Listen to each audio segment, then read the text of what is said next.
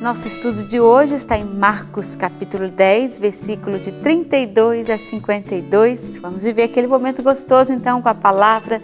Pegue a sua Bíblia, separe o seu caderno, sua caneta. Vamos rezar com a palavra. É o Bíblia no meu dia a dia.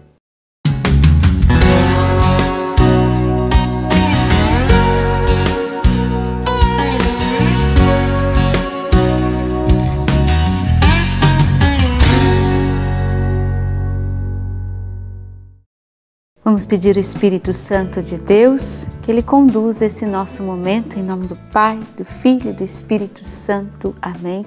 Vinde, Espírito Santo, enchei os corações dos vossos fiéis e acendei neles o fogo do vosso amor.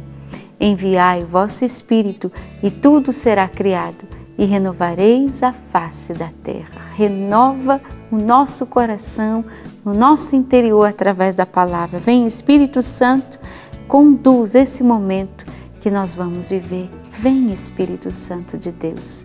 E aí você pode continuar a sua oração, quem sabe cantar, rezar em línguas no Espírito, preparar melhor até o seu estudo bíblico. Mas vamos começar a ler e que o Espírito Santo possa também abrir o nosso coração para a gente continuar a nossa oração por quanto tempo for necessário. Versículo 32 nós estamos no Evangelho de São Marcos, capítulo 10. Estavam a caminho, subindo para Jerusalém. Jesus ia à frente e eles, assombrados, seguiam com medo. Jesus outra vez chamou os doze de lado e começou a dizer-lhes o que estava para acontecer com ele. Estamos subindo para Jerusalém e o filho do homem será entregue aos sumos sacerdotes e aos escribas. Eles o condenarão à morte e o entregarão aos pagãos. Vão zombar dele, cuspir dele, açoitá-lo e matá-lo, mas três dias depois ele ressuscitará. É uma promessa que já aconteceu. A ressurreição do Senhor, ela já aconteceu. E graças a Deus, né? Por isso estamos aqui.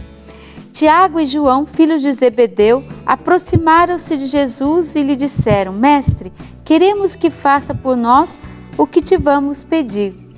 Ele perguntou: Que quereis que eu vos faça? Responderam: Permite que nos sentemos na tua glória, um à tua direita e o outro à tua esquerda. Jesus lhe disse: lhes disse: Não sabeis o que estáis pedindo? Podeis beber o cálice que eu vou beber? Ou ser batizados com o batismo que eu vou ser batizado? Responderam-lhe: Podemos. Jesus então lhes disse: Sim, o cálice que eu vou beber, bebereis. Com o batismo que eu vou ser batizado, sereis batizados. Mas ao sentar-se à minha direita ou à minha esquerda, não depende de mim, é para aqueles a quem foi preparado. Quando os outros dez ouviram isto, ficaram zangados com Tiago e João. Jesus então os chamou e disse: Sabeis que os que são considerados chefes das nações as dominam, e seus grandes fazem sentir seu poder. Entre vós deve ser assim. Quem quiser ser o maior entre vós, seja aquele que serve e quem quiser ser o primeiro entre vós, seja escravo de todos. É um princípio do reino de Deus, mas também não deixe de ser uma ordem. Tá vendo só? Você quer ser o primeiro? Então seja o último, aquele que serve, aquele que está à disposição dos outros. Anota aí também no seu caderno. Pois o filho do homem não veio para ser servido, mas para servir e dar a vida em resgate de muitos. É um princípio eterno, não deixa de nos encher de esperança. Ele veio para servir e dar a vida em resgate de muitos e veio para nos resgatar também, a mim e a você. A cura do cego de Jericó. Chegaram a Jericó quando Jesus estava saindo da cidade, acompanhavam os discípulos e uma grande multidão o mendigo cego Bartimeu, filho de Timeu, estava sentado à beira do caminho. Ouvindo que era Jesus Nazareno, começou a gritar: Jesus, filho de Davi, tem compaixão de mim. Muitos o repreendiam para que se calasse, mas ele gritava ainda mais alto: filho de Davi, tem compaixão de mim.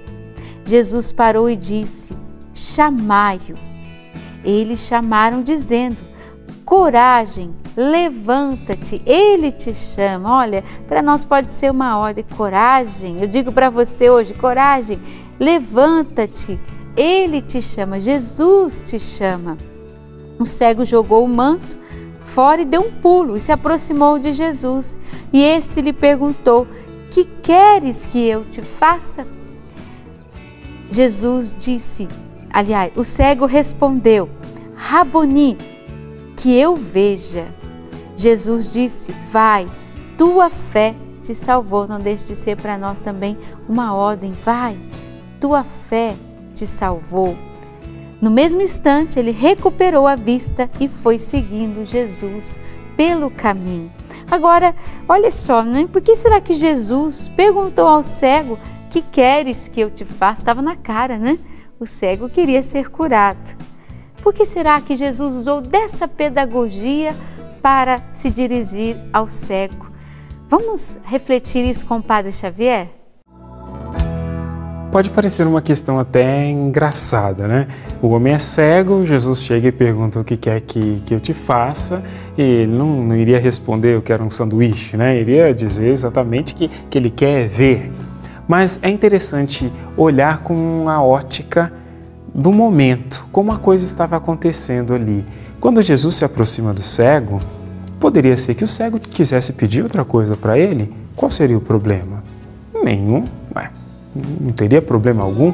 Agora, um outro grande motivo de Jesus perguntar é que objetivamente Deus responde aquilo que nós estamos de verdade pedindo. Objetivamente é assim. Ele queria que esse cego também e os outros que assim aparecem no Evangelho também participassem daquilo que ele está fazendo, perguntando: o que que você quer que seja feito por você? Isso é importante. Veja assim, se Jesus dirigisse essa pergunta para cada um de nós agora, talvez a gente pudesse ter respostas múltiplas, né? Mas é quase que ele está perguntando assim: o que que realmente te faz falta? O que que é a coisa mais importante que você não tem e que você pediria a Deus? E aí vem a resposta do cego, que eu veja. É claro que ali era evidente assim, mas vejam que em um outro momento no comecinho do Evangelho de Marcos, quando desceram aquele paralítico diante de Jesus, Jesus viu que perdoar os pecados daquele homem era mais importante do que curá-lo. Vejam que as coisas não são tão lógicas assim. Nós estamos diante de Jesus, é Deus, né? Então a coisa não é tão lógica. Aquilo que se vê e aquilo que não se vê também está em jogo. E é por isso que Jesus pergunta a esse cego: O que quer que seja feito por ti? Quando ele diz isso, ele está de verdade, não simplesmente dizendo se, se o Senhor dá conta de fazer, mas está professando a fé dele. É assim que nós devemos fazer com tudo aquilo que nós temos. Cada vez que visitamos o Santíssimo Sacramento e ali estamos, ter sempre bem clara aquela resposta para uma pergunta assim, né? De poder dizer: Senhor, é isso aqui que eu quero. Não um milhão de coisas, mas aquilo que realmente é importante para que as outras coisas possam se transformar também. Eu preciso ser clara com o Senhor na minha oração, no meu pedido. Eu preciso ir até o Senhor e você também. Veja só a pedagogia que Jesus usou com o cego. Deixou que ele falasse, que ele dissesse, que ele abrisse o seu coração. É o que nós temos que fazer também na nossa vida de oração, no nosso momento com o Senhor. Senhor, o que queres? Ele vai perguntar a você: o que você quer que eu faça por você? Bom, para mim, hoje, o versículo que mais me chamou a atenção e eu tomo como uma mensagem para o meu dia é o versículo 43. Entre vós não deve ser assim. Quem quiser ser o maior entre vós, seja aquele que serve. E quem quiser ser o primeiro entre vós, seja o escravo de todos, pois o filho do homem não veio para ser servido, mas para servir e dar a vida em resgate de muitos.